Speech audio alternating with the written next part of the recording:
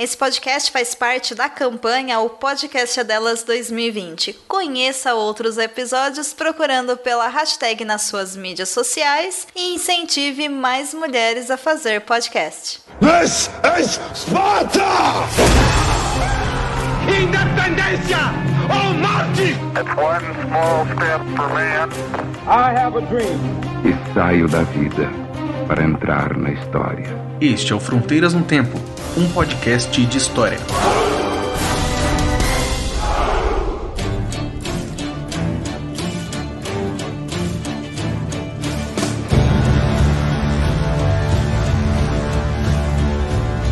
Olá, aqui quem fala é o CA. Oi, aqui quem fala é o Marcelo Verava. E você está ouvindo Fronteiras no Tempo. Um podcast de história. Tudo bom, Beraba? Tudo bem, Cia. E você? Tudo bem também. Sempre a mesma história, né? É... Mas beleza. É o, nosso, é o nosso bordão, não é? O que, que seria de Galvão é. sem Arnaldo, né? O Tino Marcos. A gente tem que tá, tá manter certo. um padrão aí pros nossos ouvidos é. se estranharem. Embora a gente muda.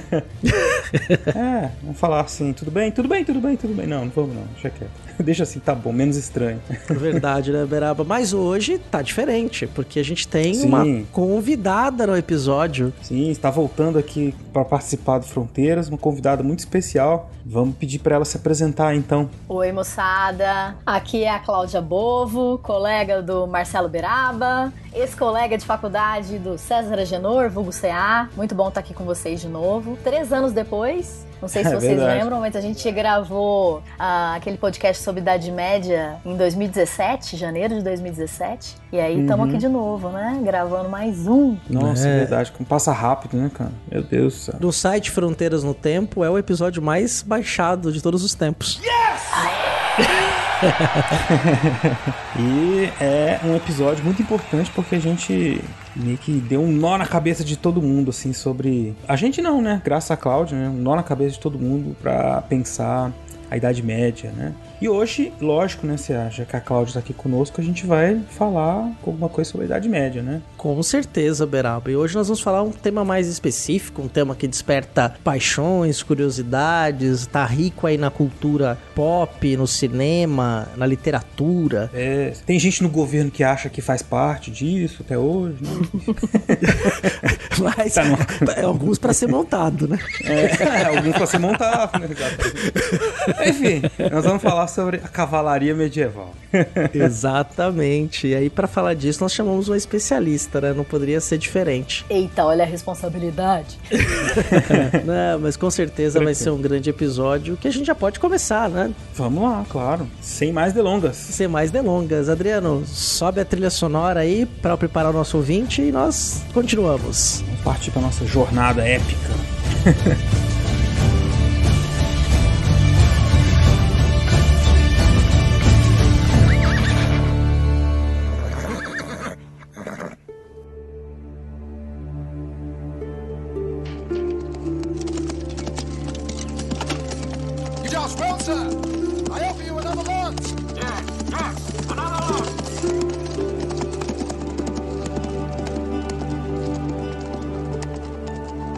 cavalaria né? Desperta sempre muito interesse, como nós dissemos agora há pouco na abertura. No cinema, nós vemos sempre como peça-chave em batalhas. Quando a gente pensa no cavaleiro medieval, é indissociável da sua montaria, né? do seu cavalo. Então, vamos, acho que a gente podia começar é, definindo, então, o que, que seria, na Idade Média, a cavalaria e quando ela surgiu. Já começamos com o primeiro problema historiográfico. Ah, não há consenso. Quantas, ah. Quanta, quantas horas você quer para responder isso, Cláudio? Não, não, eu vou tentar ser o mais, mais breve possível nas considerações, até porque eu acho que é importante deixar claro para o nosso ouvinte, né? Que assim, eu estudei cavalaria porque estudei romances de cavalaria há muitos hum. anos atrás e venho trabalhado assim, tentando atualizar leituras, né? Que a gente, enquanto professor, faz isso o tempo inteiro, a gente não para de estudar. Mas basicamente tem uma historiografia imensa que trata da questão e eu vou me deter, vou dizer assim, tá? Para não ser.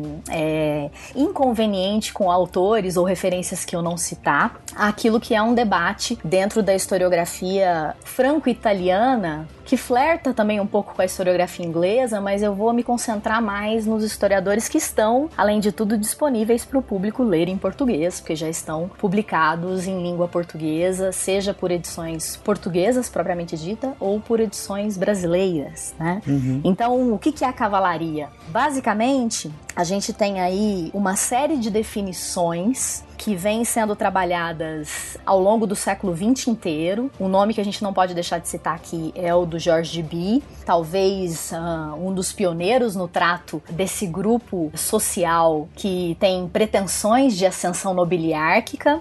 Então, cavalaria e nobreza se confunde ao longo da Idade Média Central, basicamente aí século XII. Uhum. Mas além dele, a gente tem outras referências importantes para tratar. Então, é, acho que talvez o texto mais atual em língua portuguesa a falar da cavalaria e que é um grande calhamaço, que é o Cavalaria do Dominique Barthélemy, que foi editado pela Unicamp, se eu não me engano, em 2010 foi isso mesmo, 2010, a edição de 2010. É um livro bastante extenso, baseado na edição francesa de 2007 e se chama A Cavalaria da Germânia Antiga à França do século XII, que ele se propõe a fazer o quê?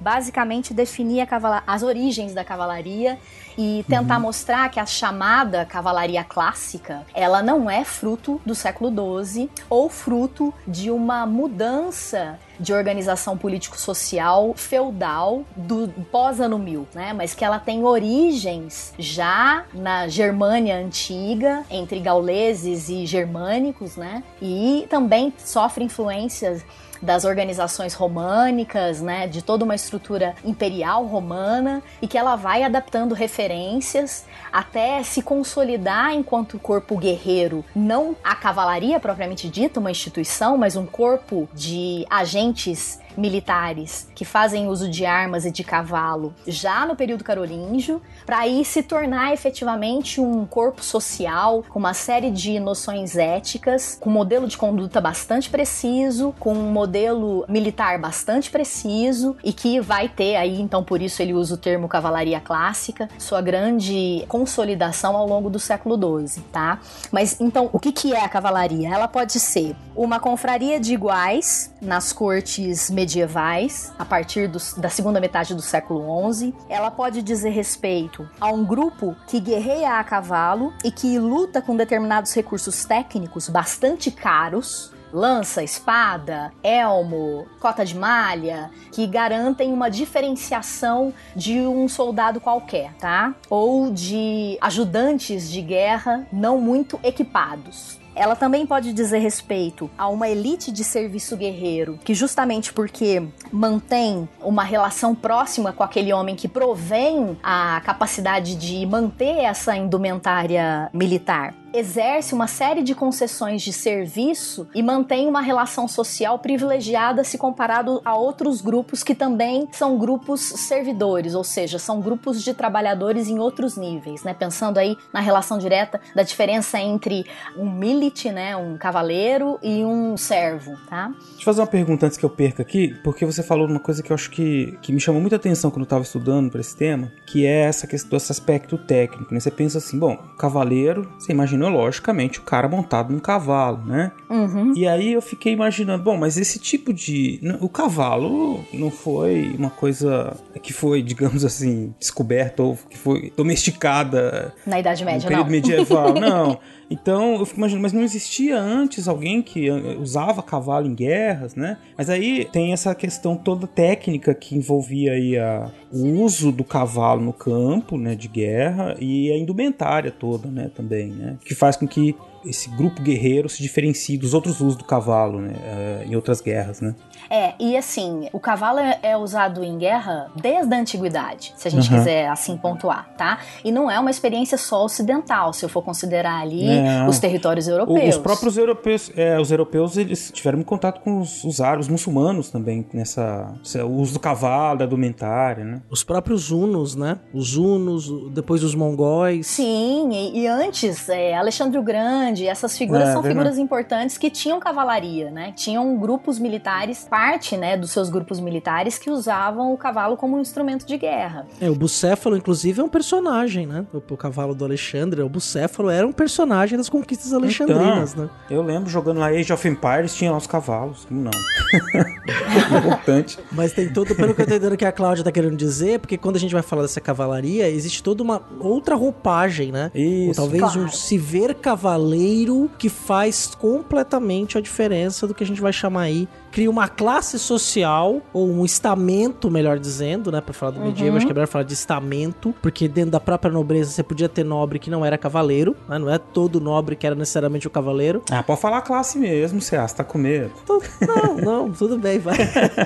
Não, mas é. Seu marxista, seu Ó, pra você marxista. ficar à vontade, o George B, no Guerreiros e Camponeses, chama os cavaleiros de classe, tá? Sim, Aí, E, então por pronto, exemplo, estamos autorizados. É, não tem problema também de fazer o uso desse termo, não, porque a ideia é um pouco dessa. Entendi. Um grupo que tem consciência do seu papel e da defesa de valores, e aí, socialmente falando, ele usa a sua hegemonia sobre os instrumentos de violência para conquistar espaço social e construir uma legitimidade, posso chamar aqui, público e política, né, também. Então, é, é- não é à toa que, por exemplo, uma coisa que esses autores que eu citei até agora, né, o Dibi, o Barthélemy, coincidem, né, nas interpretações historiográficas deles a respeito da cavalaria, é que ela se torna um corpo social efetivamente importante, do qual vão sair parcelas significativas da aristocracia do século XII, XIII, XIV, XV. Então, cavalaria e nobreza não são instâncias separadas pós-século XII. Ah, Elas flertam, se relacionam e hum, muitas vezes a conduta cavaleiresca, ou seja, uma moral da cavalaria, a ideia da honra, da presteza de serviços de proteção, né, aos depauperados, às mulheres, às crianças, aos pobres de uma maneira geral. E a ideia de pobre não significa a pobreza material, mas é o lance do desarmado, tá? aham. garante a eles um- uma orientação de conduta que os coloca dentro dessa fração social que quer ser vista como superior e imbuída de um papel de um serviço honrado, tá? Que Uhum. vai para além daquela coisa do confronto da guerra, da violência pura e simples, que é, acho que esse é um termo importante para dizer, porque muitas vezes e aí o estatuto da violência ao longo da Idade Média, ele muda muito e o fazer uso da violência como seja como um recurso representativo para garantir espaços de poder é algo que essa cavalaria clássica, constituída institucionalmente a partir do século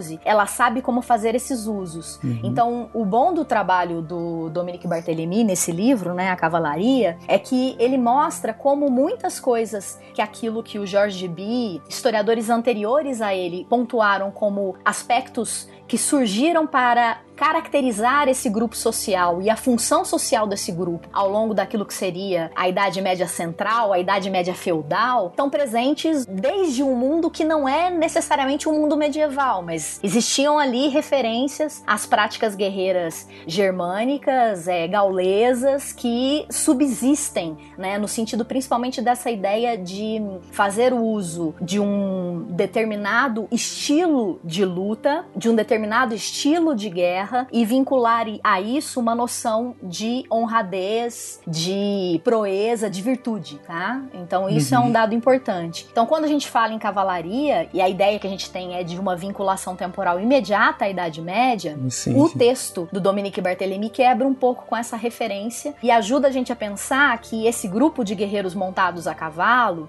bastante romantizados, né, seja por uma cultura midiática contemporânea ou mesmo por uma cultura medieval de oralidade, de escrita de contos, ela diz respeito a, um, a atos, né, de uma prática de organização de luta e de disputa de espaços sociais em que a guerra é um mecanismo importante para a reprodução e para a mudança das relações sociais, então um, um grupo de elite usando uma indumentária específica, um tipo de arma específica, treinados para fazer do cavalo também uma arma, né? E é por isso que eles são imponentes, vistos como um tremendo temor, né? Porque eles ficam triplicados em tamanho montados no cavalo e a força do golpe que eles desferem, seja por espada, por machado ou por lança em cima do cavalo, faz a força do golpe ser letal, né? Mesmo que não decepe, não corte, ser arranhado por isso, pela força do impacto, porque você usa a velocidade do cavalo. Isso faz o tipo de, de golpe ser um golpe letal, ainda mais num tempo em que não existia antibiótico e curas milagrosas, né? De sutura e de tratamento, né? Via remédio para garantir não infecção. Então, assim, os caras ficam, eles têm essa aura de grandeza em torno deles. E aí, por que, que é interessante fazer essas referências? Porque há uma pluralidade de representações produzidas sobre a cavalaria que fazem parte desse ambiente de idealização aristocrático medieval, mas ele tem a ver também com a maneira como a contemporaneidade valorizou esse grupo social cavaleiresco, ou para falar sobre o poder do cristianismo em domesticar essa violência endêmica guerreira. E aí, o Dibi é um bom autor para mostrar essa influência, né?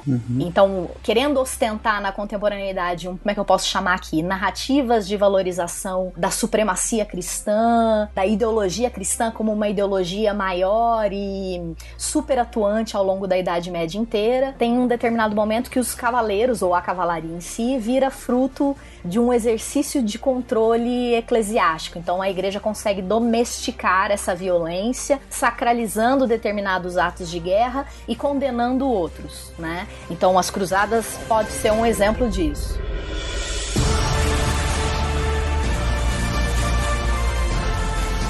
Cláudia, é interessante que todas as coisas que você vai falando, eu ia perguntar, tipo, agora pra você sobre a relação com a igreja e você começou a falar. Mas eu queria comentar mais também umas coisas, né, que é é interessante também. Essa, esse negócio do dano no cavalo é um- uma coisa que quem joga RPG sabe, né? Que montado no cavalo.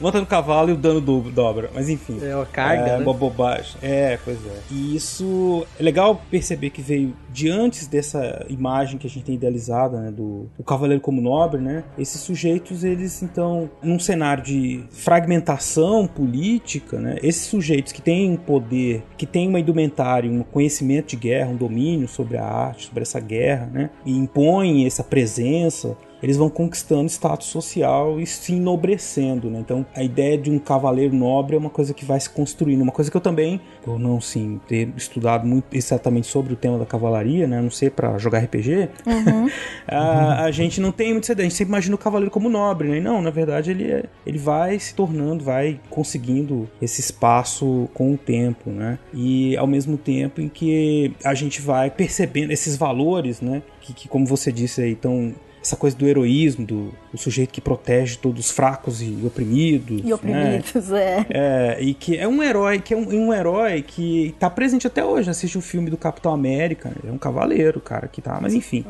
Né? Uma coisa que é muito presente, assim, na nossa, na nossa visão sobre os cavaleiros, né? E que a gente imagina que eles faziam, né? Sempre fica aquela coisa também, né? é- é da violência, né? Porque eu também acho isso muito interessante. Eles eram, carregavam todos esses valores, né? Nobres e tudo mais, e de uma organização da guerra, que acho que a ideia também é muito essa, né? De organizar e direcionar a violência dos nobres para guerra, para um tipo específico de guerra, e que tinha todo um conjunto de valores, mas que era sanguinária, né? Super violenta, enfim. Pelo menos olhando hoje, né? Então, Mas que guerra que não é super é, não, é lógico, né? Exatamente. Então, assim, essa ideia, essa, essa organização, esses valores todos, eles, de certa forma, parece que é contraditório com essa, com essa violência que é crua, assim, né? Decepar e puxar. É, E tem uma coisa que é importante, que é pro nosso ouvinte também ter claro, quando a gente fala de nobreza, o que vem na nossa mente é a nobreza da corte. Essa nobreza da corte é uma nobreza da Idade Moderna, a partir do século XVI, XVII, especialmente a partir de Luís XIV, que cria um modelo de corte que vai ser imitada e reproduzida nos séculos seguintes. Esse nobre medieval, comparado ao nobre moderno, era muito mais simples. Os próprios grandes banquetes palacianos providos pelo rei, eles tinham seus castelos, as suas fortalezas, mas a gente está falando de uma nobreza que era agrária, que vivia no campo, não vivia nas cidades. Ele estava, de certa forma, embora em seus castelos, em suas fortalezas, muito próximo daqueles que o serviam, dos seus servos, dos plebeus, e o refinamento culinário, os bons modos, isso não, não tem, né? Quer dizer, era a mesa não tinha nenhuma distinção, quer dizer, era uma nobreza guerreira, essencialmente, mas muito diferente da nobreza moderna, que vai ser letrada, refinada em seus gostos, o próprio refinamento dos gostos na Idade Moderna vai diferenciar este nobre das outras classes sociais, mas na Idade Média não, quer dizer, na Idade Média tinha, obviamente, suas diferenças, mas tinha muito mais proximidade com o plebeu do que vai acontecer depois na Idade Moderna. Sim, não, você tem razão, mas é, o que, que é importante aí, eu acho que é uma coisa que a medievalidade deixa como legado para modelos de corte posteriores, tá?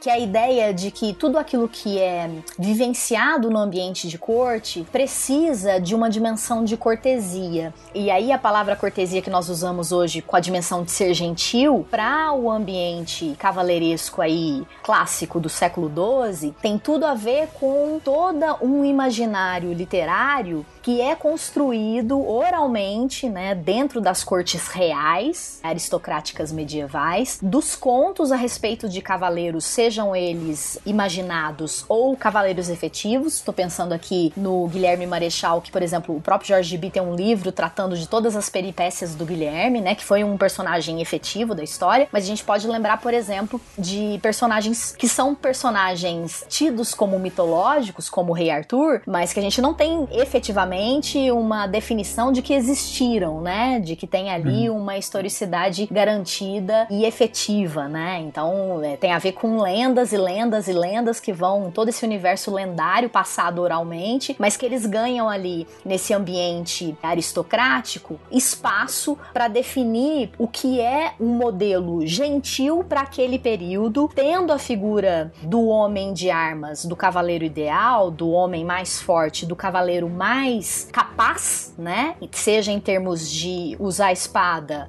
a lança ou de montar a cavalo e fazer uso desses equipamentos, mas também como um cara tocado por uma, uma designação, eu vou chamar aqui sacramental, de ser invencível. Ele passa N provas ao longo da vida, ele é testado em inúmeros aspectos, ele sofre muito, né? Mas a, normalmente ele é recompensado ou com o grande amor de uma donzela qualquer, ou com uma grande riqueza, ou com um bom casamento. Então ele nunca sai moralmente combalido, tá? Mas há algumas experiências literárias desse ambiente cortês e da cortesia cavaleiresca que mostram cavaleiros que, apesar de serem os mais capazes, né, de ter uma proeza cavaleiresca significativa, por conta de um desvio moral, são punidos ao longo da narrativa inteira e essas narrativas servem para educar. Esse é um ponto importante da dimensão e da divulgação oral desses contos que depois vão sendo paulatinamente transcritos, né, ao longo do século XII. Então a gente tem várias legendas.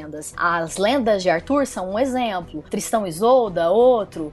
Então você tem a legenda tristânica, a legenda do Arthur. Aí você tem, tô pensando aqui especificamente nos espaços dos romances de francês antigo, né, do norte uhum. e do uhum. sul da França. Mas você vai ter experiências parecidas na Itália, na Península Península Ibérica. Então, isso é um dado importante para mostrar como há um reconhecimento social de um tipo de modelo de conduta e daquilo que se espera de um cavaleiro já sendo popularmente divulgado por esses contos oralizados a partir da segunda metade do século XII, que está espelhado, sem dúvida, numa constituição efetiva dessa classe, desse corpo profissional de, de guerreiros, mas que, entre outras coisas, anuncia a sua notoriedade, a sua importância social aí no século XII. É por isso que o Dominique Barthélemy, apesar de questionar muito uma série de autores que vão é, tratar, por exemplo, do ano 1000 como um ano de mutação, de ai, os séculos feudais como séculos de ausência de poder público, como séculos de violência endêmica, de anarquia feudal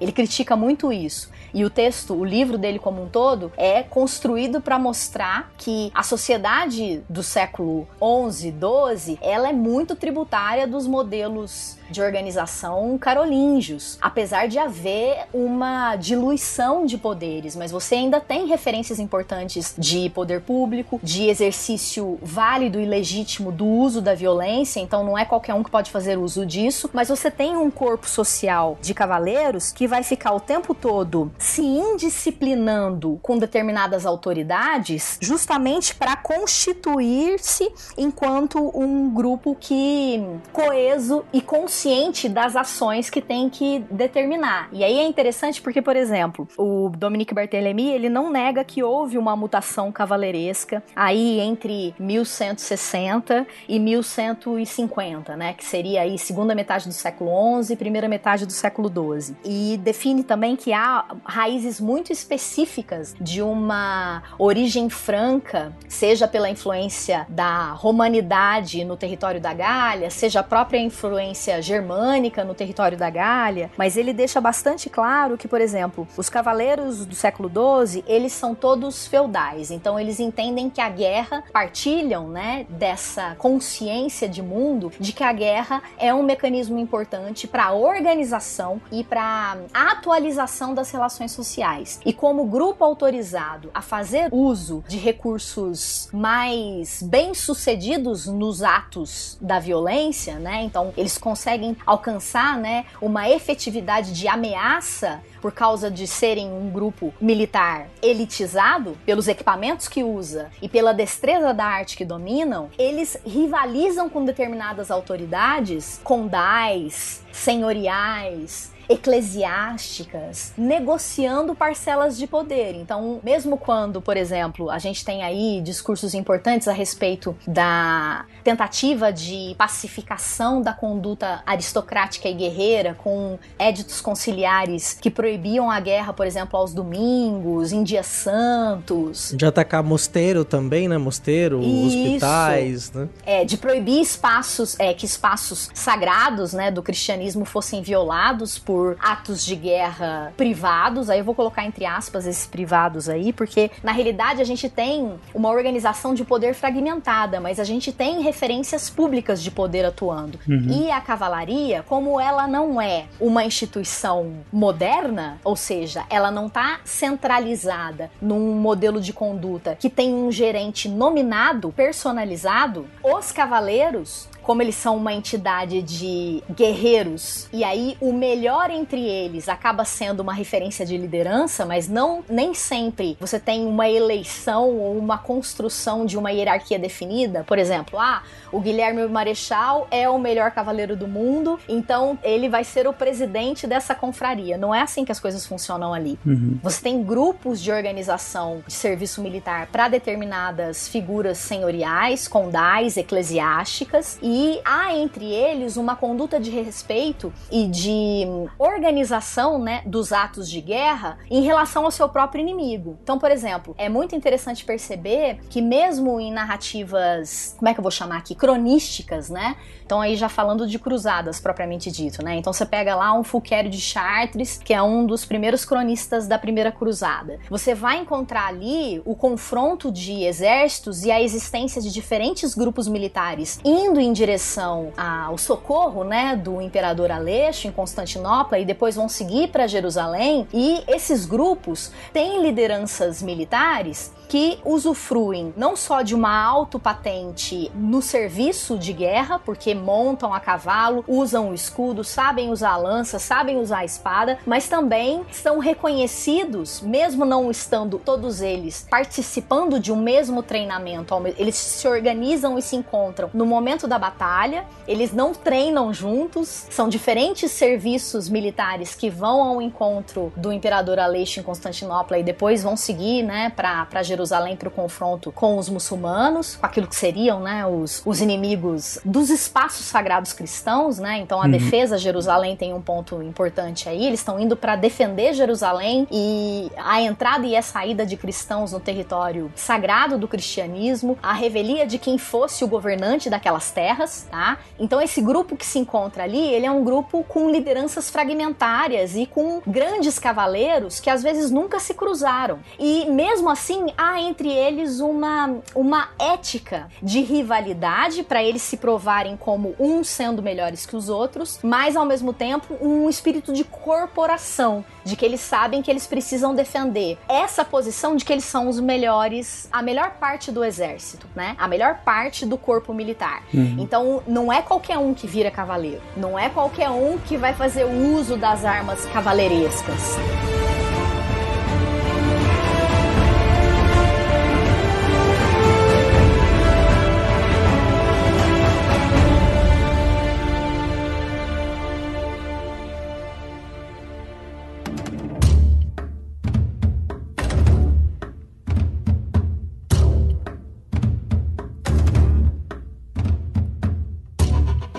Envolve, lógico, o cara saber lutar e montar e tudo mais. Mas eles fazem a guerra, mas eles não fazem só guerra, eles negociam, né? Eu achei interessante que você disse que eles estão participando de diversos espaços, esses espaços públicos, entre aspas, aí, e que estão negociando poder, estão fazendo alianças, né? Uhum. Mesmo nas cruzadas, no momento que eles encontram com os muçulmanos, não me lembro onde eu vi eu li isso, né? Mas é aquela coisa assim de que eles em algum momento vão negociar com esse inimigo, né? Né? Assim, uhum. conhecendo de repente até o, o, valor desse inimigo, né? Como alguém que é diferente, mas que é possível negociar com ele alguma coisa, né? Isso ajuda muito a gente a desconstruir um pouco dessa ideia de Idade Média com essa violência toda, né? Ou então uma, uma cegueira quase assim, por nome de, de Deus, em nome das coisas assim que aquela ideia de Idade Média que a gente tem, uma Idade Média muito Idade das Trevas, né? Então, é, personagens muito complexos e que é interessante, mas o que eu entendi é que você tem um movimento nesse mundo cristão, que esses cavaleiros são todos muito parecidos, mas assim, eu imagino que deve ter muita diferença. Algumas variantes, assim, né, entre eles, né? Não, sim. Então, por exemplo, assim, vamos tentar organizar isso de uma maneira mais clara para o nosso ouvinte. Porque há muitos modelos cavaleirescos, mas aonde eles se encontram, né? Então, hum. onde há uma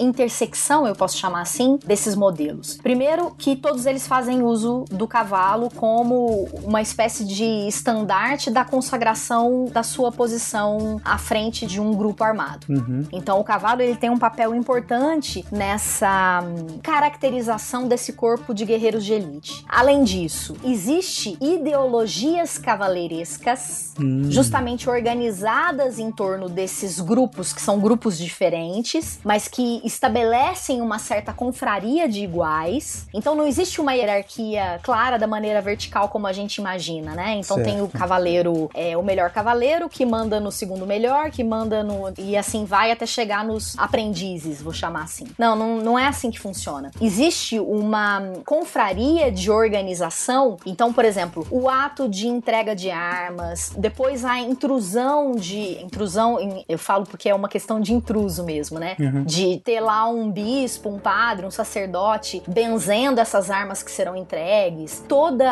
a ritualística, né? Entre aquilo que é falado, os beijos que são trocados. Os rituais para se virar cavaleiro também. Então, isso tudo é um processo de especialização dessas ideologias cavaleirescas. Uhum. Então, pensando aí num espaço que foi um espaço que eu estudei muito e pensando nas reverberações dessas ideologias para um espaço ficcional, então estou pensando aqui no espaço francês, a gente encontra ali ideias que estão baseadas numa noção de cuidado com os desarmados, presente numa moral cavaleiresca, eu posso chamar assim, mas que é interessante pensar nisso porque dependendo do grupo cavaleiresco e ao confronto que eles se entregam, não é um problema depredar um espaço cemiterial, um espaço eclesial. Então, assim, isso é muito relativo. Então, existem Entendi. normativas que vão tentar disciplinar isso, e aí os encontros conciliares, por exemplo, que são chamados da paz de Deus, da trégua de Deus, mesmo a própria influência, né, de autores cristãos, caracterizando o que seria um milis Christi propriamente dito, né, um cavaleiro de Cristo Cristo, uhum. já pensando no universo das cruzadas, como o Bernardo de Claraval, por exemplo. Você tem é, nuances muito específicos do que é esses discursos, essas narrativas, né? De construção desses modelos e do que, por exemplo, uma crônica vai retratar como experiência guerreira de um corpo de cavaleiros à frente dos grupos que estão indo peregrinar em armas a Jerusalém para expulsar o infiel de Jerusalém, entendeu? Como uhum. é o uhum. caso da crônica do Fulquério. Então você vai encontrar textos que vão disciplinar e que vão demonstrar pela maneira como eles tentam disciplinar a conduta cavaleiresca, que essa conduta não necessariamente segue com primor essa regra de, ó, não fira os desarmados. Então, quando é necessário e dependendo da ameaça que o jogo de guerra exige, o cerco conta mais do que o confronto de guerra propriamente dito. Uhum. E isso é algo que, por exemplo, no texto do Dominique Barthélemy, ele fica muito explícito, que aparece, né, na narrativa historiográfica do Dominique Barthélemy, que não necessariamente tudo aquilo que é descrito, inclusive nas crônicas, como processos de confronto entre grupos militares, sejam eles, por exemplo, cristãos versus muçulmanos ou cristãos versus cristãos, existiram de fato. Às vezes o que está sendo descrito ali é só um cortejo de ameaça Uhum. à guerra que não necessariamente se realiza num confronto que vai durar dias, meses. Então, assim, eles têm hora marcada para se enfrentar. Uhum. E essa é a parte incrível, né, de um processo de baile de guerra que a cavalaria, de uma certa maneira, reproduz em vários lugares da Europa medieval. Então, assim, eles têm maneiras de organizar os exércitos. Não necessariamente a cavalaria vai na frente, pelo contrário, primeiro vem arqueiro, aí depois vai uma cambada de homem a pé, depois a cavalaria vai, né? Depois vai a cavalaria pra decepar o que precisa ser decepado. Mas às vezes só o cerco cavaleiresco, ou seja, a quantidade de cavaleiros que aparece montada nos cavalos, a quantidade de arqueiros, a quantidade de infantaria que aparece montada, já predispõe um processo de negociação sem necessariamente efetivar-se um confronto. E isso é uma das regras que faz essa confraria cavaleiresca, mesmo ela existindo em lugares diversos, com ideologias de comportamento bastante precisas e regionalizadas, eu posso chamar assim, mas eles têm condutas de respeito com o seu oponente. E aí, uma coisa interessante, né? Aquilo que a gente vai ver se manifestar como prática de treinamento e de divertimento, que são os torneios, né? Pós-século XII, até como um espaço, como é que eu posso chamar aqui? Civilizado de contenção da experiência cavaleiresca fora do confronto de uma guerra efetiva, né? Então, alguns autores vão trabalhar com a ideia de que os torneios, eles não são mecanismos de hum, treinamento para uma um futuro confronto, pelo contrário, mas é um exercício de apresentação social do que aqueles homens são capazes, mas que não necessariamente eles precisam fazer. Uhum. Então, vira uma arte da demonstração da guerra que não precisa se efetivar. Entendi. De repente podia ser ter então um, um cerco, né, uma demonstração de força e isso ser a batalha. Aí a gente de repente consegue ver um pouco a diferença entre a ficção né, e o que aconteceu, por assim dizer, porque a batalha em si é muito mais dramática, né? E você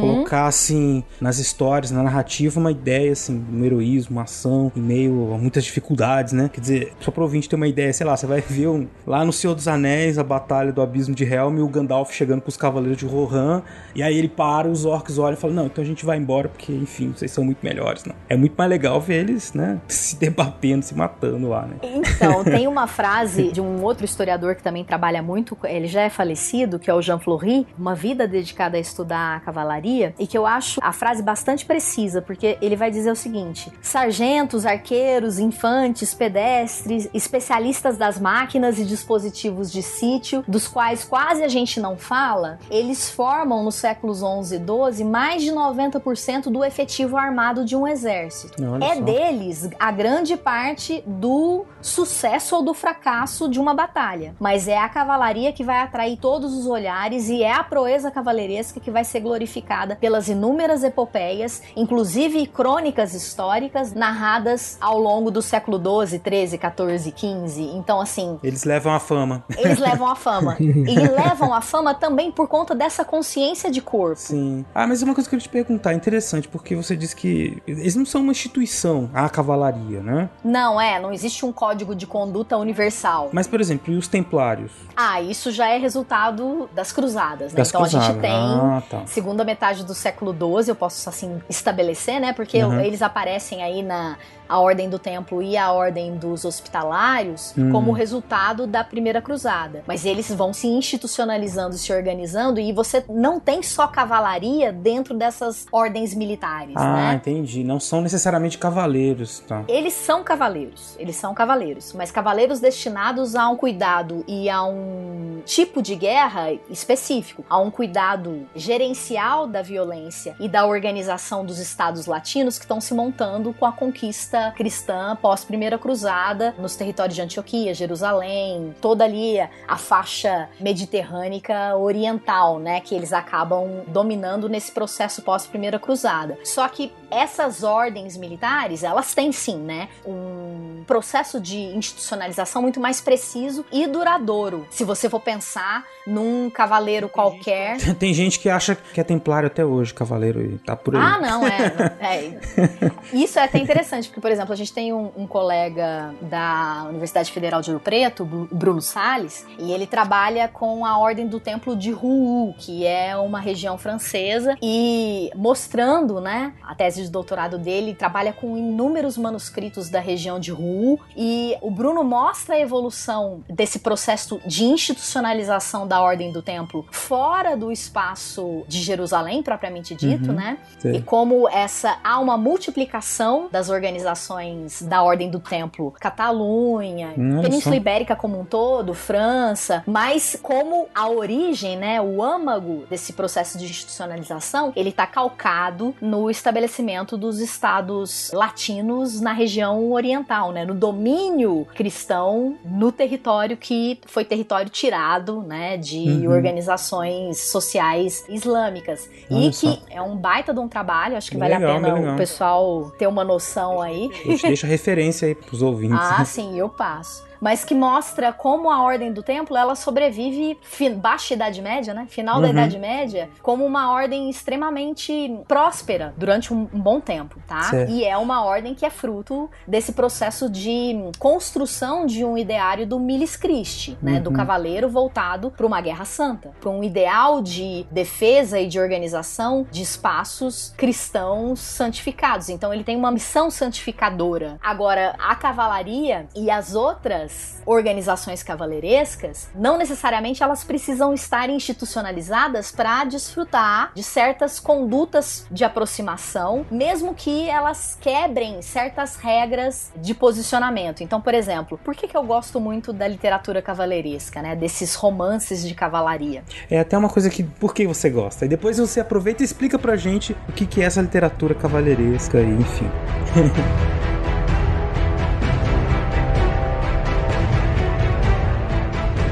Eu gosto muito dos romances de cavalaria porque, assim, eles são muito diferentes uns dos outros. e aí você tem cavaleiros muito. ah, eu tô tentando achar uma palavra adequada pra não falar um palavrão, sabe? É, cavaleiros muito full, né? São- eles são fodões. Não, é fudido mesmo. Assim, coitado, só sofre a narrativa inteira, nada dá certo. E, assim, às vezes ele se contenta com nada e descobre que a grande missão da vida dele era conduzir um rei à vitória. Então, assim, Uhum. tem muitas experiências diferentes e é difícil, mesmo sob a pena, né? Porque a gente fala que é o mesmo autor, mas como são contos orais, eles podem ter sofrido inúmeros acréscimos até terem chegado os manuscritos pra gente, né? De conservação, de arquivo. Então, por exemplo, o Cristiano de Troyes, ele tem histórias muito diferentes, modelos de cavaleiro muito distantes um dos outros. E aí só dizer, ah, e ali impera um modelo de cavaleiro cristão. É, De que cristianismo? Porque nós estamos falando de um período, século XII, de disputas doutrinais inúmeras. Então é muito, por exemplo, é um período em que você encontra a proibição efetiva para que homens que fazem uso, né, de funções eclesiais não peguem em armas, mas é o momento que você encontra um monte de bispo guerreiro, de monge guerreiro. Então você entendeu como as coisas são contraditórias? Que coisa. Monge guerreiro é bem legal, mas não faz muito sentido, realmente. É, porque teoricamente ele deveria estar É, num processo de rezando, oração e de reclusão, reclusão, né? é. Mas Obedecendo ao não matarás. né? Exatamente.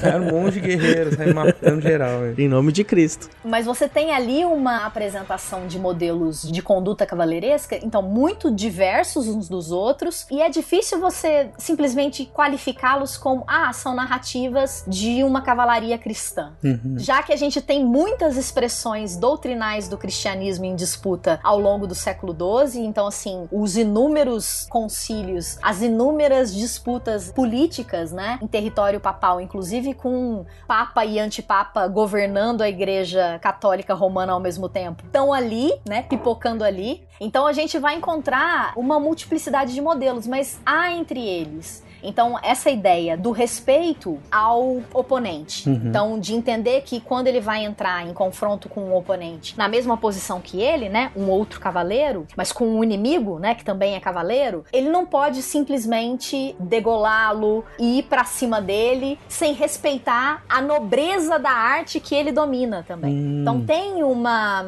aura de relacionamento entre grupos cavaleirescos diversos, porque teoricamente, eles respeitam a arte que eles muito bem manejam, Entendi. muito bem executam. Então eles reconhecem, inclusive, o seu oponente, no seu oponente, a beleza do tipo de luta, né? É ruim usar o termo luta porque é muito mais do que luta, né? Uhum. E é por isso que envolve uma questão de conduta. Então, essa coisa de não atacar por trás isso aparece muito, né, nos romances de cavalaria como um quesito que desabona o cavaleiro. Então, quando ele ataca por trás, ele não é um bom oponente. Ele não tá vencendo o seu adversário pela qualidade da sua arte, mas é na emboscada, e emboscada nunca é legal. Eu até lembrei nessa passagem de uma, uma cena até de um filme, né, que o Arthur vence o Lancelot usando os poderes mágicos da Excalibur. Ele fica com baita peso na consciência, uhum. inclusive Excalibur se quebra depois disso, porque ele trapaceou. Ele tinha sido derrotado pelo melhor espadachim da, do seu séquito de cavaleiros, né? E aí ele fica mal por isso, né? Fala, nossa, eu, eu usei um subterfúgio mágico para vencê-lo.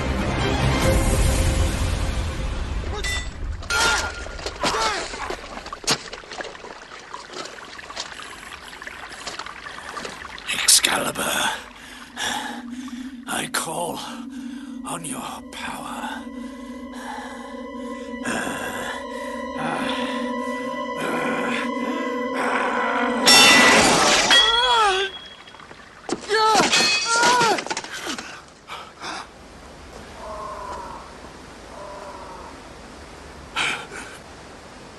Merlin, what have I done?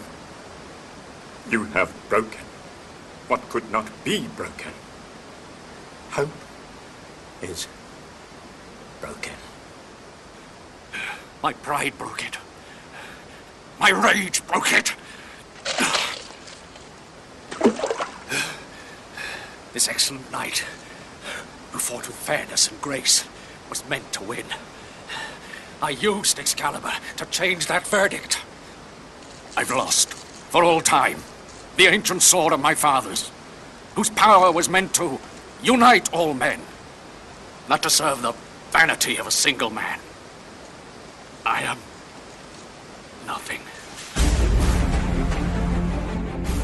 Então entra também nessa conduta, né? Sim, e isso é muito bem retratado nesses romances, né, de cavalaria uhum. no geral. Então é por isso que eu gosto tanto, porque além de ser uma coisa assim extremamente de fácil leitura, então é uma documentação histórica que é muito, muito acessível, porque é um texto fácil, é um texto simples, é um texto gostoso, tem ritmo. Então assim, uma criança de 12 anos, criança, né, um adolescente de 12 anos lendo Eric Enide do Christian de Troyes, ele vai achar uma máximo. Ele não vai achar uhum. um texto cansativo, descritivo, entediante. Desculpem os literatos de plantão. Se comparar com, por exemplo, um José de Alencar nosso, entendeu? Nossa, olha Porque é um texto Polêmica. ágil. Polêmica. É, é. É um texto ágil. É, e tem a ver com essa coisa do herói, muito fácil de identificar ali, né? Sim. As coisas que ele vai passar, a coisa do, do épico, né? O estilo épico de narrativa. No né? sujeito ele vai viver uma história grandiosa e vai sofrer e depois vai ter uma redenção. Então isso é muito bom, né? De, de ler. E, enfim, hum. a gente cria uma, um laço com isso muito fácil, né? Com esses heróis. Mas tem muitos contos de cavalaria que terminam do nada, assim, né? Tipo, acabou. Também, não é. tem um final.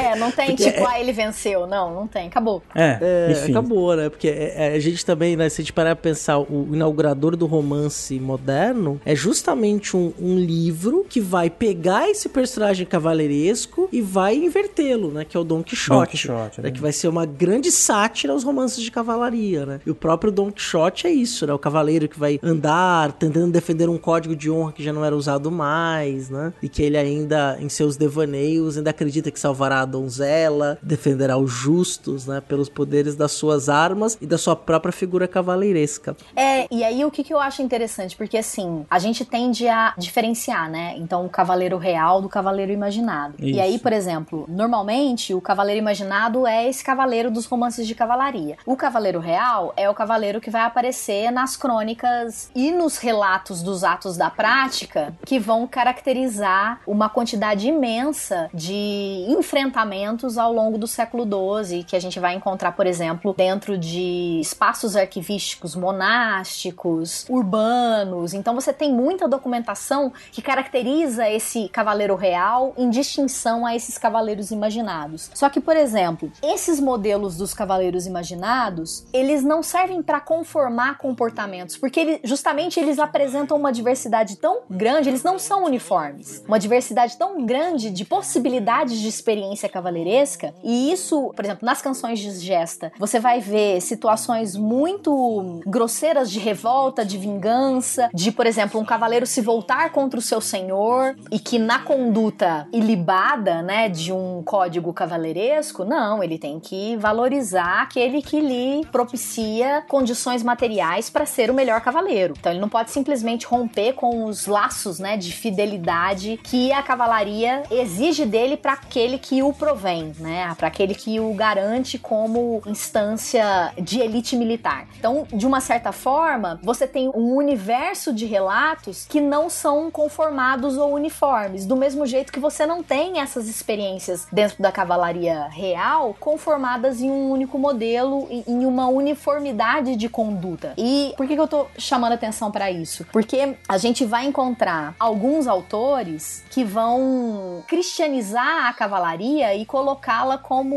uma ordem da igreja, por exemplo, né? Pensando aí na atuação cavaleiresca e nas ordens militares pós-cruzadas. É, eu acho que muita gente faz essa relação muito imediatamente, assim, a igreja e cavalaria. assim. E que não é necessariamente assim. Então, os textos do Gibi, eles ajudaram um pouco a construir e a vulgarizar essa ideia de uma moral cavaleiresca cristianizadora. E aí, o cristianismo como uma dimensão extremamente uniforme no estabelecimento de uma conduta pretendida, com punição, com perseguições a entes cavaleirescos que não fossem, que não atuassem de acordo com aquela conduta. Mas, ao mesmo tempo, a gente vai encontrar algumas experimentações cavaleirescas que se aproximam, por exemplo, do serviço mercenário. Quem paga mais leva o meu serviço, entendeu?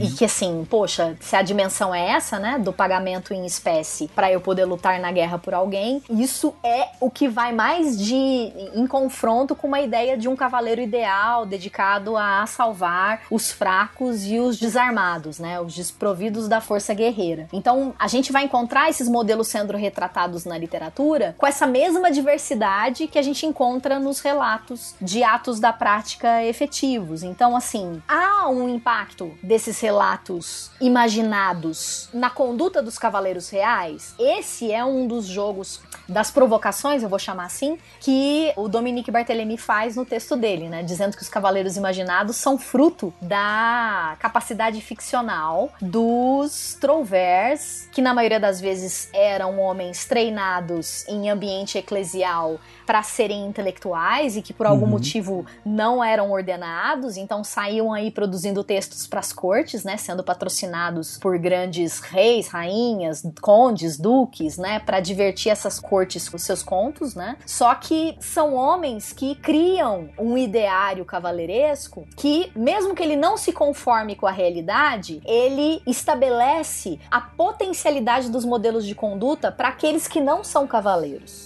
Que não vivem a experiência da cavalaria, entendeu? É, isso é uma coisa que tem a ver com um tema ou um, algumas proposições que a gente já fez em outros momentos no Fronteiras, nessa relação da história com a literatura, né? Quer dizer, a, a literatura e a história, elas conversam, elas têm uma relação. Quer dizer, não é porque é ficção que você está falando de algo que não corresponde ou não tem relação nenhuma com uma realidade. Até se a gente for pensar, quando for falar de temas ficcionais, sei lá, magia e bruxas e demônios e tudo, isso tem também alguma relação com a sociedade que produziu aquilo que nós historiadores podemos captar, pescar ali e entender né, e problematizar e para poder compreender essas outras dimensões que são constituídas ali junto com a literatura. Né? A própria o desenvolvimento da literatura também vai acompanhar essas mudanças sociais e políticas que estão acontecendo ali na, naquele período também, né? Exatamente, Beraba. Você parar para pensar, por exemplo, na Alemanha do século XIX, muitos passaram a compilar esses romances de cavalaria para encontrar uma origem do povo germânico, né? Ela foi fruto da construção de um nacionalismo. E aí, o que melhor para você construir do que você trazer laços antigos, né? uhum. né? Então, vários romances de cavalaria do século 12, 13, no século 19, na Alemanha, no seu processo de unificação, foram republicados, compilados, também serviram um propósito nacionalista. Acho que não só na Alemanha, né? Muita gente foi buscar esse, sim, sim. nesse passado, a ideia de nação, de origem, na Idade Média, justamente para tentar buscar essa origem nobre, né? Assim, valorosa. Não lembro exatamente se a gente falou isso no episódio de Idade Média com a Cláudia, né? Mas é, é o século XIX constrói essa é, visão de Idade Média uhum. romântica, né, que a gente tem hoje, né, assim, muito por conta dessa literatura cavaleiresca também, né. Não, sim, porque assim, as cruzadas como um todo, né, é um tema dentro da história é, europeia extremamente revisitado. Então a gente tende a achar que, por exemplo, uma historiografia século XIX, século XX das cruzadas, ela bebe de referências de um enaltecimento, mesmo as cruzadas tendo naufragado, né, no, no seu elemento efetivo, né? Não se conquistou Jerusalém definitivamente, não se estabeleceu ali um espaço exclusivamente cristão, muito pelo contrário. Uhum. Então, assim, eu poderia olhar para o processo histórico das cruzadas e vê-lo como uma grande derrota. Mas o século XIV, o século XV, o século XVI, o século XVII, o século XVIII construíram uma memória vencedora da cruzada. Uhum. E o século XIX organizou isso dentro do espaço de referencial, né, que eu posso colocar aqui, da instituição né, dos Estados-nação, da organização dos povos, e o cavaleiro, que é o, o ente militar mais efetivo né, desse ideário cruzadístico, ele aparece como uma figura ahistórica. Né? Uhum. Então ele é um, o herói da nação, ele é o herói da organização e da multiplicação de bons valores, né, da Sim. proeza militar à virtude cristã. Então ou as virtudes cristãs, né? Então, cuidado com os mais fracos, a defesa dos mais fracos, o respeito, né, ao inimigo. Isso tudo aparece idealizado e vira, como é que eu posso chamar aqui? Vai, um caldeirão de referências muito importante para serem usados ideologicamente até hoje, né? Não, é, eu, eu, ia até falar isso, acrescentar. Você falou até o século XIX, mas no século XX, no século XXI, é, a gente uhum. tem exemplos dessa reapropriação, dessa ressignificação. No século XX, durante a Segunda Guerra, guerra.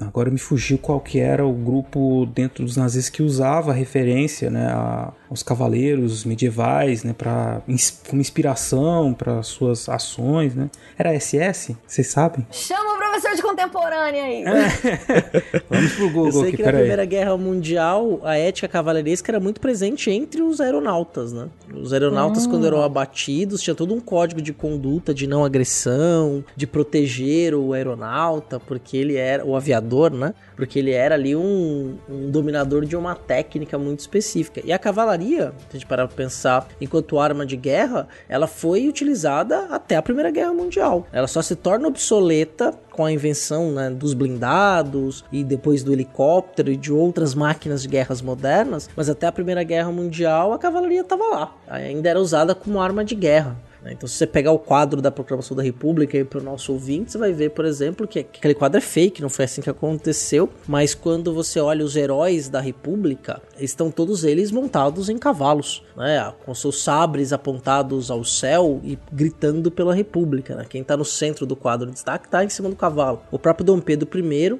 no quadro que foi pintado quase 60 anos depois, lá pelo Pedro Américo, Independência ou Morte, é retratado em cima de um cavalo cercado pelos seus dragões da independência, que era um grupo de cavalaria de elite portuguesa, né? E depois do Império do Brasil. Então você tem ali, do Brasil, na verdade, da independência, todo o imaginário em torno da cavalaria e o uso prático dessa cavalaria também, seja do ponto de vista do efeito simbólico, né? Como você imaginar e simbolizar do ponto de vista que a cavalaria é algo de nobre, ou mesmo na questão prática, do uso dos cavalos como armas de guerras efetivas, né? Eu lembrei aqui. Lembrei não, o Google me ajudou aqui. Foi o Himmler, que era o comandante do, da SSS, ele adotou o modelo da Ordem dos Cavaleiros Teutônicos, como uma forma né, de organizar e de criar uma ideologia né, para a atuação da SS um pouco antes da Segunda Guerra Mundial. E no século 20, 21, né, quer dizer, a ideia de cruzadas, de lutar por um bem maior, está né, tá presente em diversos conflitos, especialmente quando a gente pensa nas intervenções ocidentais no Oriente Médio. Né? Tem gente que pensa isso até hoje, e como eu disse brincando no começo do programa, e algumas das vezes, né, gente que traz isso para um cenário político brasileiro de uma maneira que parecia caricatura um tempo atrás, agora tá ficando sério, porque acho que tem gente que acredita muito nisso, né? Até hoje, uma cruzada né, em nome da, da fé e da moral, e uma coisa que, enfim, parecia piada que agora tá ficando perigosamente sério, né, assim, quanto poder essas pessoas têm. Sem querer dar spoiler, mas já dando spoiler, tem um colega na Federal de Minas Gerais, né, na Universidade Federal de Minas Gerais, que tá para defender a dissertação de mestrado, Luiz Guerra. Ele trabalha com essa coisa do, dos medievalismos, né, uhum. as apropriações da Idade Média contemporaneamente, e ele usa vários exemplos de grupos de Facebook brasileiros, ah, onde essa então. questão da cavalaria está presente como, vou chamar aqui um embuste, tá? Para qualificar, qualificar uma ação social e um ideário de nação cristã, Isso. branca, uhum. né? Então, muito bacana e a maneira como ele percebe também as novas concepções de Idade Média que surgem nessa seara de neomedievalismos, né? Uhum. Então, é, é muito, muito interessante e, e preocupante, porque Exato. isso tá de acesso a qualquer um e são temas que tem um quê de fantasia, né? Total. Mexem com o nosso imaginário, seja pela questão exótica ou justamente por isso, né? Pelo arquétipo do herói que é constantemente reiterado e que a gente almeja, né? Como espelho ou da salvação ou da valorização. Então, eu não sei, eu, eu, eu me preocupo muito com uhum. esses resultados práticos, porque no final das contas são grupos que se juntam não só para se divertir em festas neomedievais, mas que podem se e, e tem encontrado espaço público e político para isso, né?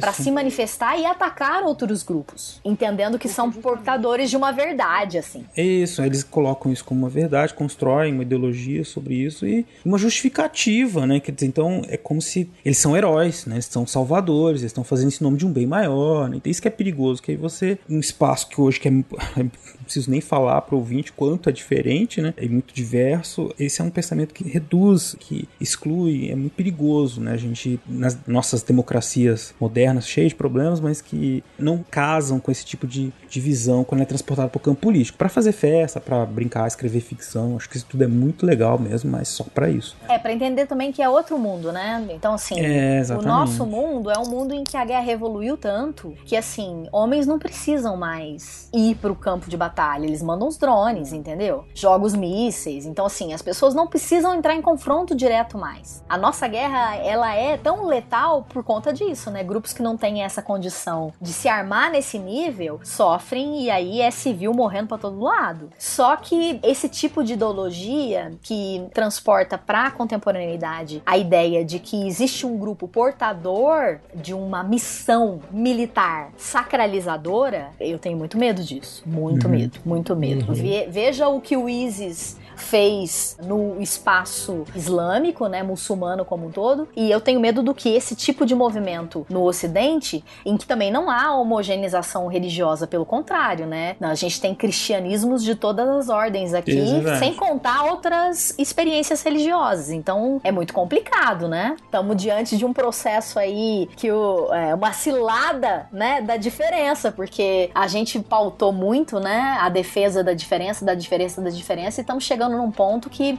determinados grupos, para se autoafirmarem, usam um passado medieval, vou colocar entre aspas, tá? Pra justamente definir a sua supremacia e se estabelecer, inclusive militarmente, para dizimar outros grupos. Então, assim, é, gente, ó, eu tenho medo de qualquer postura nesse sentido e acho que as pessoas têm que ficar muito ligadas, porque Uhum. isso aparece aparece num grupinho de nada nas redes sociais e o treco ganha um corpo que a Então. hora que você vê é black bloc que fala, né? Pois é. Manifestação botando terror mesmo. E o remédio pra isso é a história. é ouvir, conhecer esses debates, entender o papel da ficção e da atuação desses cavaleiros, né? E a gente já pôde perceber nesse episódio que assim, então você tem uma uma não chamar uma tradição, mas num- entre aspas também, né? Dessa atuação desses grupos guerreiros desde muito antes do século XII, a consolidação desse cavaleiro clássico no século XII e a reminiscência, a permanência de- dessa visão por muitos séculos. A gente está falando de né? São quase mil anos, né? De permanência desse personagem e um personagem que a gente falou desse lado muito temeroso, né, dessa influência, mas que tá presente também do lado do entretenimento, assim, da, dessa cultura pop geral, né, do mundo, com uma série de produções de cinema e de ficção, né, que trabalham, se não com o cavaleiro em si, né, mas com um personagem inspirado nesses valores do cavaleiro, né. Tem, Uhum. assim, eu fiquei lembrando aqui no nosso papo, na verdade, dos filmes que me marcaram de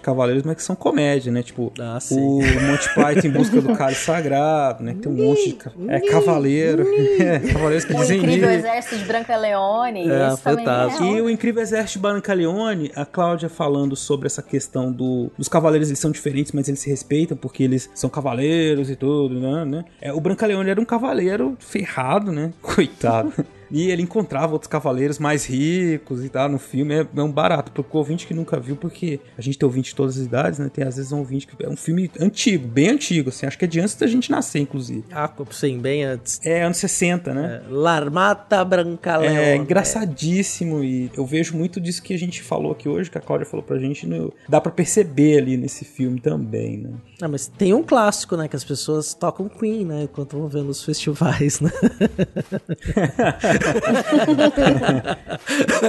É verdade. Ah, eu lembro até hoje, eu vi esse filme no cinema, acho que é Coração de Cavaleira, com o Heath Coração de Ledger, Cavaleiro, né? Heath Ledger. É, e ele tá, ele é um plebeu que finge ser um nobre pra disputar um torneio de justas, né? E aí o pessoal É batendo, bacana. batendo, fazendo o ritmo do Queen. Aquilo ali é, é, é Não, maravilhoso, né? Quer dizer, não é Idade Média, né? É uma outra coisa ali, mas é divertido, é divertido. É um filme ruim, mas é bom. Ele é tão ruim que ele dá a volta e fica bom. Ah, mas eu, eu não acho. Eu acho ele mais, mais educativo, né, pro propósito. Porque, assim, ele, ele vem com esse propósito de entreter, né? E, e eu acho ele melhor em termos de indumentária, de mostrar as diferentes práticas de um torneio, por exemplo, né? Por exemplo, a dificuldade de um nobre de alta nobreza encontrar um combatente para um torneio, porque se ele for machucado, a pessoa pode, sei lá, né, pagar com a própria vida aquilo que era para ser um processo de treino e entretenimento na guerra. Então tem coisas ali historicamente explicáveis, né? Mas ele não vem com essa proposta de ser histórico, né? Então eu, Sim, sim. Ali, ó, eu falo, meu, vai lá, bom trabalho. E eu gosto muito do Hit Ledger, então, muito bom. Agora, tem outros que vêm com essa proposta de uma, de uma dimensão histórica e que cagam na retranca. E outro palavrão que eu não precisava falar no episódio. né? A gente Não bota um problema. bip. Mas não tem problema, não. É, que, por exemplo, Cruzadas, né? Ah, Então, mas esse filme é horrível. Orlando Bloom, sofrível, sofrível. É Ele triste. tem uma narrativa da nova cruzada americana É, é, tem muito a ver com. que é, Uhum. nossa, sei lá, e esse encontro. Tem muito a ver com o George Bush, aquela coisa no Oriente Médio, assim. Eu, fiquei, eu vi aquele filme e ficava vendo esse. se- Parecia que era uma propaganda aquilo. Era muito, É, muito o ruim. Saladino é o personagem mais interessante do filme, inclusive, Sim, né?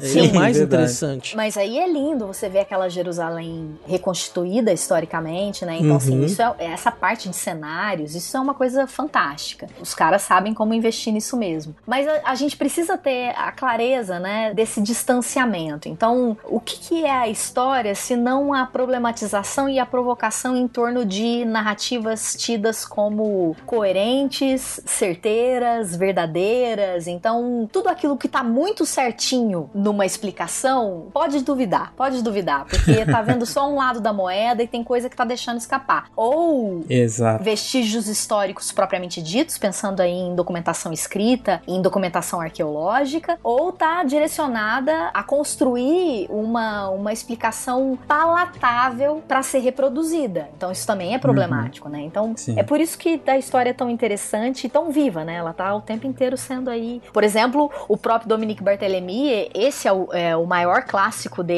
né? Publicado em francês em 2007, mas ele tem uma vasta obra de artigos e de enfrentamentos ao longo da década de 90 inteira numa revista inglesa chamada Past and Present, discutindo feudalismo, discutindo cavalaria, discutindo mutação feudal. E o que, que é interessante? Ele é um dos herdeiros, eu posso chamar assim, né? Discípulos, né? Daquilo que o, o Dibi apresentou como modelo teórico e metodológico do trato com a história. Mas ele chega ao ponto de enfrentar o Dibi em várias questões. Então, assim, e isso é muito interessante, né? Que mostra como um tema que a gente achou quando eu li o Dibi lá na década de 90, no final da década de 90, tá, gente? quando eu li o Dibi lá, eu achei que o Dibi sabia tudo, né? Ah, alguns anos depois, lendo outras referências, eu falei assim, caraca, né? Então, como essas temáticas, elas estão vivas em termos de interpretação, e não é porque apareceu documentação histórica nova, não. É porque apareceu mecanismos de confrontação e de hum, procedimentos metodológicos que dão uma reviravolta na explicação, assim. É verdade. Até o ponto, por exemplo, de a gente entender essa vivacidade da história, né? Seja da narrativa explicadora, conciliadora, que tem começo, meio e fim, né? Ou mesmo do procedimento de historiar, historicizar, né? Que é essa coisa de não, de não se contentar com uma explicação só, de ir atrás de É outras verdade. referências. Que é uma coisa que a gente sempre fala aqui, né? Que é, não é uma questão de opinião. Principalmente hoje em dia isso tem que ser reforçado, né? Quer dizer, a gente não tá falando que é uma história que é narrada assim, ah, é porque tem muitos, os confrontos das narrativas, narrativas, narra- Não, é, é lógico, existe, você constrói, mas elas, na história que a gente fala aqui nesse programa, ela não é construída da nossa cabeça, do nada, porque a gente quer. Ou porque a gente tem um viés ideológico específico, então só produz história de um jeito, né? Como eu assisti esses dias, pasmos, né? Uhum. De um- uma figura pública dizendo que uma interpretação sobre 64 só foi produzida pela esquerda, né? Então É, por isso pois que, é, quer então. dizer, não, é muito longe disso, né? Quer dizer, então é uma outra Isso. coisa. Não, tem muita ciência por trás daquilo que a gente faz, gente. Pelo Exato. amor de Deus. Ó, não é por nada não. O, o livro, né, do Dominique Barthélemy tem quase 600 páginas. 500, contando aqui com, vamos chamar aqui, vai, ilustrações, referências, dá aí 590 e tantas páginas. O livro, ele lida com documentação, então pra vocês terem uma ideia, que vai de Estrabão, César, as guerras civis, Tácito, até documentação ficcional do século XII. 1.200 anos de textos, entendeu? Então, peraí, Meu por Deus. favor, né? Pô, então, assim, não dá pra dizer que não tem metodologia e muita ciência aí do como pensar, do como fazer essa documentação conversar, de ver, por exemplo, furos, né, numa tradição historiográfica anterior e pensar a partir dessa tradição aquilo que ele pode contribuir com uma visão que ele construiu em cima de muita leitura, né, de um exercício de interpretação e não são documentos fáceis, muito pelo contrário. Então, assim, é obra de uma vida e o cara fez em poucas décadas, né? então, a gente tá muito acostumado a, trabalhar com documentação muito circunscrita, né? Há poucas décadas. Ele trabalhou com documentação de milênio, né? Então, é muita coisa. É muita coisa. Tem muita ciência aqui.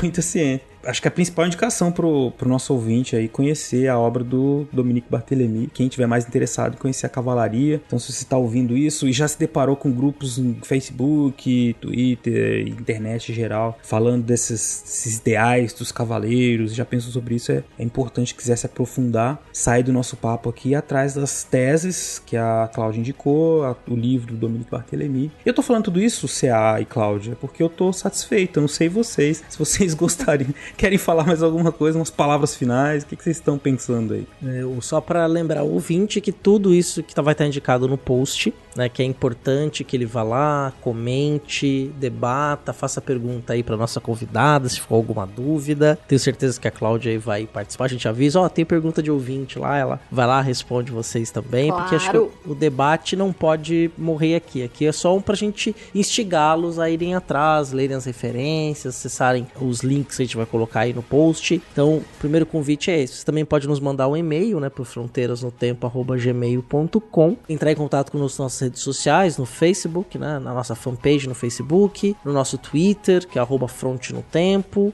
ou no nosso Instagram. Também pode procurar por mim e por Uberaba. A Cláudia no final vou pedir se ela quiser divulgar as redes sociais para seguirem. Ela vai divulgar e vocês podem também segui-la. E se você gosta desse projeto, quer ver esse projeto crescer cada vez mais, você também pode nos apoiar no Padrim, né, no padrim.com.br barra fronteiras no tempo. Com qualquer contribuição que você der vai ser bem-vinda para nós termos mais programas como esse. Eu também, Beraba, estou hum. muito satisfeito com o que foi produzido aqui. Já agradeço, Cláudia, obrigado aí por mais uma vez abrilhantar o nosso programa, ajudar nesse trabalho de história pública e divulgação histórica que a gente faz aqui já há alguns anos. E tenho certeza que esse episódio vai estar tá aí também entre os mais ouvidos, né? Porque toda vez que você participa, o programa fica muito bom. Eita!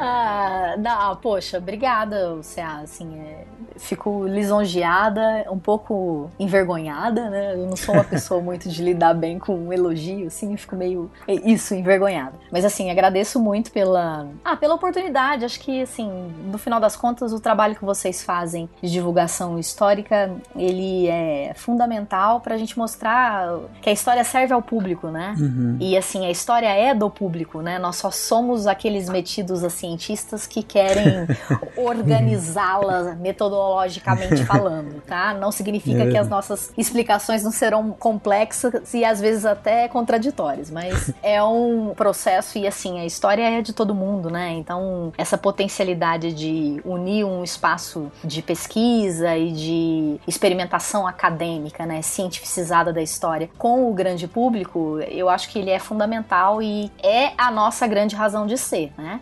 Porque a história, se ela não servir para nada, pelo menos ela entretém, não é? Como já dizia Mark Bloch. É verdade. Então, além de agradecê-los pela oportunidade de estar aqui de novo depois de três anos, espero que a gente consiga fazer isso com mais frequência. Não demore tanto tempo para a gente se encontrar nas nossas conversas sobre Idade Média e medievalidades. Eu queria só citar aqui uma referência que eu acho que é interessante e que, como ele é um, um autor que foi publicado em português só tratando das cruzadas, né? Que é A Guerra Terra de Deus, que é o Christopher Tyerman. Ele tem um livro chamado O Debate sobre as Cruzadas. Edição só em inglês, infelizmente, mas ele conta justamente toda essa trajetória da modernidade, então pensando aí período moderno, né, de apropriação de uma experiência histórica e construção de uma ideologia vencedora das cruzadas, que eu acho que assim, para entender entre outras coisas, né, o fascínio contemporâneo sobre a Idade Média e como nós estamos atolados numa dependência de uma história europeia como história do Ocidente, como nossa história. Então, mostrar um pouco dessas apropriações, né, dessas invenções que a modernidade fez sobre a Idade Média, ajudam a gente, inclusive, a entender o nosso poder e o nosso papel no questionamento dessas atualizações ou recepções ou apropriações de períodos históricos, assim. Uhum. Então é um outro autor que tem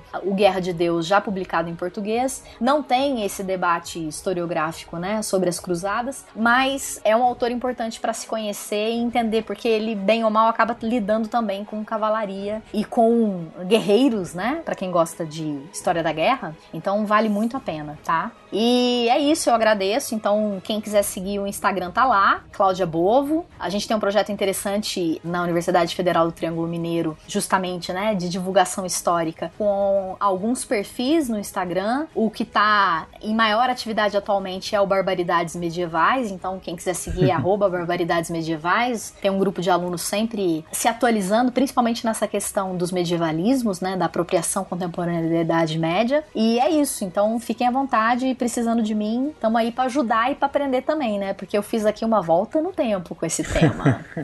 Passei uns três dias folheando o livro.